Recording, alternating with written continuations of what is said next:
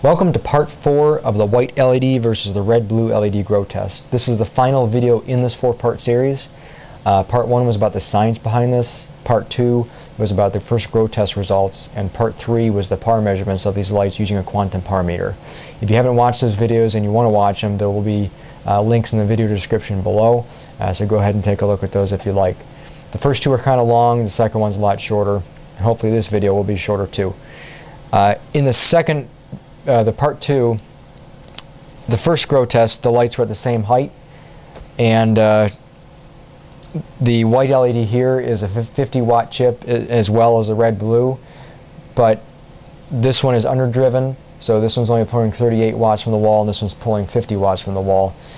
So in order to do a, uh, a complete test, you know, a scientific experiment is always about um, doing things more than once, replicating results, and uh, trying it multiple times. So you can't just do one test, so we're doing this next test.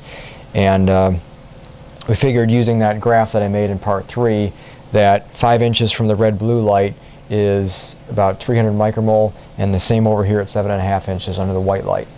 Uh, so that's the only, there's, that's one of the only differences between the first test. The second difference is, is just how they're being grown.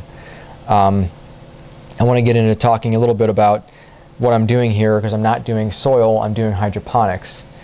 And in soil, your plant is going to grow slower. In hydroponics, it can grow up to twice as fast. And here's the reason why.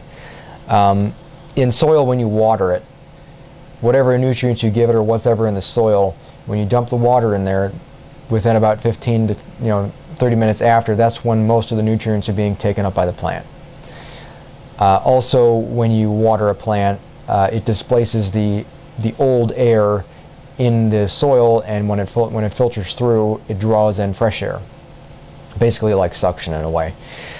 Um, so in hydroponics, you're giving the nutrients continuously because it sits in a nutrient solution. It's just all liquid and it's constantly being taken up by the plant as if it's just being watered continuously, if you will. Uh, the other thing is the air.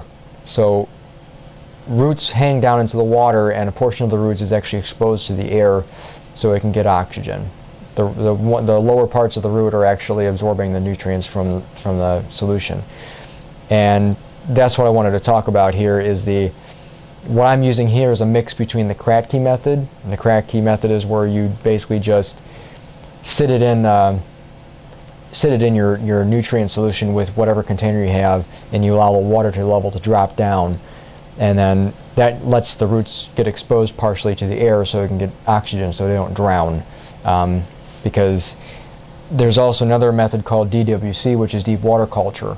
And in that, the water is, uh, well, the roots are actually completely submersed in the water and you have an aeration, uh, like an air stone, aerating the water continuously so they can basically breathe, get oxygen. This method here, I combined the DWC and Kratky method together because um, giving it more air is just better. Also, if my if I have a power outage and I lose power, the uh, the pump here that's a, it's actually off right now. Otherwise, it'd be too loud to talk. Um, but it's a commercial air pump that needs to continuously give it bubbles for it to for it to breathe. But it can breathe without it because uh, I'm letting the water level drop down as you would in the Kratky method and let it stay low. Uh, I'm never going to fill it up to where the roots are all completely completely submersed in that. So, anyways, that's what I'm doing with hydroponics, and uh, I figured that this time I want to get the plants growing quicker than the last time because it was two and a half months. These plants here, these have been cut. These are actually clones, genetic clones from the plants I used in the second video, and these were cut about three weeks ago, and it took them about to, a week to root and what you're seeing now is actually about double, triple size, uh, or just over the past two weeks. And it took about, a, I believe, a month before, uh, when I did the soil and the seeds, before they actually got to this height and looked like this. So it's already well off. Um, I also arranged them in a way that, uh, because some of them didn't root as quickly as the others, um, so they're a little bit behind. So each container has basically a small, medium, and large plant. There's four total, but there's kind of like two small in each one. and uh, there's they're just sitting in net pots, and there is uh, LECA clay pebbles or hydroton, whatever you want to call it. It's either either name really. Um, these are actually painted black containers too. Um, I couldn't find a, a, the size container that would fit in here that was basically a solid color like black so you couldn't see through it. So these were clear. I painted them and I put like a little, uh, excuse me, a little water level indicator right down here. So that way I know when to add more, uh, more solution. Uh, so that's pretty much it. Um, the only other thing I would say here is, is the nutrients I'm giving them, uh, just for reference if you guys want to know. Uh, I'm using the General Hydroponics uh, Trio, and I'm using that's the FloraGro, that's the Flora Micro, and the Flora Bloom. And I also am adding CalMag to it because uh, fruiting plants generally need a little bit more calcium to grow, at least the fruit anyways. Uh, I also am adding Epsom salt and they're all mixed one to one ratio. It's a general feeding, and the Epsom salt is about 50% of the rest. So it's basically like one teaspoon of each and then a half teaspoon of Epsom salt. Uh, so that's the that's the grow test going on here, and hopefully it shouldn't take too much longer. I'm hoping within the next month here I'll have this all complete, and you'll see me in about two seconds at that time. So here we are two seconds later. Okay, it's actually two weeks later. That's still pretty amazing though. This is just two weeks since I recorded the first part of this video. And at that time, they were only about this tall. That was it, as you've seen in the video. If you couldn't see it, it's probably because the camera wasn't uh, adjusted for the exposure, but that's, that's how tall they were. Um, growing in hydroponics was just a very different experience for me. This is the first time doing this in hydroponic setup versus soil. I mean, there were so many good things about doing hydroponics versus soil because there, there's two things actually I'd like to note. One is you don't have to worry about fungal gnats as much because there's no soil. They can't lay their eggs in anything. Uh, there maybe there's some bugs flying around it, but they're well under control. Maybe one or two fungal gnats compared to like hundreds. So that's one good thing. The other good thing is not having to worry about watering it. Now, yes, you do have to add water to it as they start absorbing it, um, but they're sitting in so much of the water already. There's, uh, I believe, about two gallons in each container, roughly. Uh, that's that's a lot, and it as the plants grow bigger, it does absorb it quicker. However, if it's in soil in a pot, you're watering it every day, every other day, usually, depending on the plant and the size and all that. But this, this here was great because I didn't have to worry about underwatering it or overwatering it. These plants here, for the most part, look very healthy. You know, they're looking at the leaves and the stems and all that. Really just amazing because there's no signs of uh, real nutrient deficiencies and no nutrient burn. Those, those are two things that would happen in soil because you can't control how well it is going to absorb what you're putting in there in the soil. That's all dependent on how, how good the root growth is. Um, so you don't know if they're going to be absor absorbing too much of it or too little. You can you can play with the you know the mixture of your nutrients and all that, but in hydro, as long as you follow what's on the bottle, um, you know exactly what you're putting in that water, and you know exactly what they're going to be absorbing. So there's just really no way to to screw it up. Um, unless of course you go overboard and add just a little bit too much because just even a half a teaspoon is actually a lot. So there you do have to be careful with how much you're putting in there because it is very sensitive. Um, so anyways, let's get into talking about the, the plants here. And I pulled these out. I actually recorded the first part, or I, I tried recording this uh, a few minutes ago and I realized I did not turn my microphone on. So I already had these pulled out. I was going to do it in front of my grow box, but um, I'm just going to say that these here on this side, these were grown under the red blue LED and these were grown under the white LED. The same exact result we saw in the soil. And this was given the optimum conditions uh, as far as the, the ability to grow with, you know, with the proper amount of nutrients and everything, identical. Uh, there, there was the same solution given both containers. And um, the other thing was is the lights we adjusted. The red blue LED was closer to the plants than the white LED. We adjusted that with the PAR meter. Uh, so we saw at, uh, at, the same distance from the light, it was the same power output or very, very close.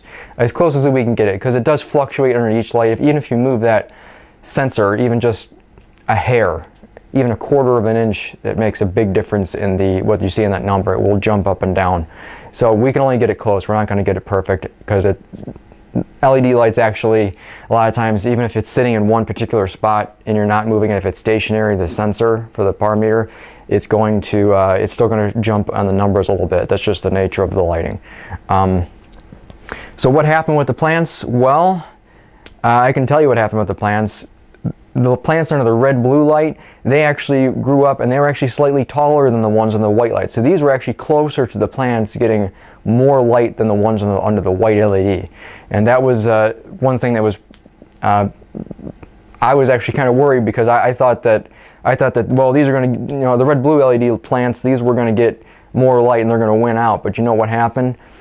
These were reaching and you, we can measure the distance um, between the, the, nodes and it was about an, roughly an inch and a half on average uh, more spacing under the red blue LED with these plants than the white LED and these were um, about the same as the first experiment in part two as far as the, the node spacing.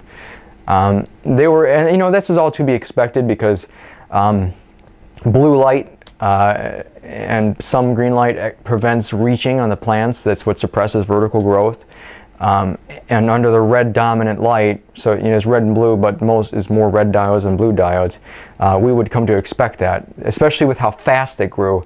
We would come to expect reaching because there's not enough blue light in there in the blue spectrum to suppress the vertical growth. That's not why they collapsed though. It wasn't because they grew too fast and all that. It's in the first experiment where it took two and a half months. Um, they had plenty of time to strengthen up their stems and it never happened.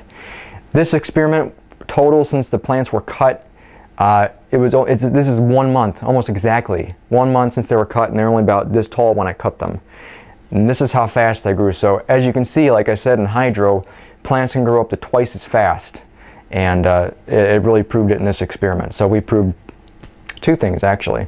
So what this experiment shows me is, is white LED still wins out over the red blue even when the light is even when the light is, is consistent with the amount of uh, uh, the micromole output of the light for each plant, for each set of plants. Uh, anyways, the, the, last thing I wanted to mention was the, uh, uh, the fruiting. Uh, because in part two, we did, we let the plants fruit. They flowered and they put out a little bit of fruit. It was, it was a nine cherry tomatoes each. Um, and overall, under the red-blue light, the cherry tomatoes were slightly smaller, but it was it, it's such a small sample size that we really can't look at that. I, but they were on average slightly smaller than what we saw that with the plants under the white LED. Um, to be consistent with the first experiment, we're not going to take these into fruit mode. Uh, I did not give them uh, the, the proper mixture of nutrients to do that anyways. I could have switched them over, but uh, ultimately, there's no reason to do that because if we did do that, obviously the ones under the white light are going to win because look how tall they are, closer to the light. These here, they can't even get any ver vertical growth. There's just no way to compare that. So to be consistent, we're not going to we're not going to do fruiting. And really, this whole thing was about just kind of showing what happens between the two plants under the two different light sources. This is what happens. We can't look at every single aspect of it. Uh, I know some of you out there probably want to do, you know, better experiments and all this, but this this is not about comparing the lights that you get as I said in, in, the other videos, it's not about comparing the lights you get where you have, you know, that perfect spectrum and it's still like a pink purple light with other little colors in there as well. This is just about red and blue light because the whole concept was um, if it's actually, your plants can grow just fine with just giving them the light that they need, which is just red and blue light. And in this case, yeah, they grew, but the biggest problem with that is this is what happens when you just give them those two uh, wavelengths of light. Because in LED, it was just those two wavelengths. That was it. Just those. I, I can't tell you offhand the nanometer range, but it was just those two. Under white light, you get a full broadband spectrum. So you're getting a full spectrum light, and it's just going to grow better. That's just how it's going to happen. Um, now, I, I didn't grow this. I didn't do this experiment because I knew what was going to happen and I wanted to prove it to you guys out there. I did this experiment because I do these experiments and I like to do them. I don't do the videos to prove anything. I do the videos just to show my results. Um, I'm going to continue to do, to do experiments like this, but I do the videos just because I like to share the information. That's it. Uh, so by no means am I trying to prove one light's going to work better over another with different manufacturers and all that. I'm not saying that they don't work or do work. This was just about one single experiment under the two light spectrums versus white light and uh, the two white uh, two wavelengths of light, red and blue, or versus the white light. Uh, so I'm sorry if some of you out there may not be happy with these results and you think I didn't show enough, but let's go ahead and show what the roots look like because that's one thing that we did not show in the soil experiment because it's almost impossible to do that. These roots have had every chance to grow as, as well as they could under this in the same nutrient solution. So we're going to look at that right now. Let's pull up my phone here and we'll just do a second camera. Let's take a look at what the roots look like under the red and blue light. And I think you'll be pretty surprised with this. Red, blue. Look at the roots. Now what you're looking at, the, the bottom part of the container is not, uh, it's not painted, so you're, just, you're looking at the countertop. That's not like a big mesh of roots. What you're seeing here, just this stuff hanging down, that's it. That's all the roots there is. Now let's look over and look at the white light LED. Now remember, these plants were getting actually less light measured with the par meter since these were uh, actually further away from the light to start with. But let's take a look at the roots here. Look at the difference in root growth. It is a lot more roots here. There's a lot more and um, they also look pretty healthy and these are heavy like I'm picking this up I can feel the weight of this to where the other one under the red blue light um, it really wasn't really wasn't heavy at all I barely even could tell they were there so anyways I finished up the video uh, it was probably a little longer than I wanted it to be but um, I was just I'm just trying to cover everything that I possibly can and try to explain things out um, so I'm sorry if it's longer than I uh, anticipated and maybe that you hoped for but that's it. Uh, thanks for watching the video. I will continue to do experiments like these and I'll post videos. Uh, however, that, that concludes this experiment where we're comparing two different types of lighting. So thanks for watching the video and maybe we'll see you in the next one.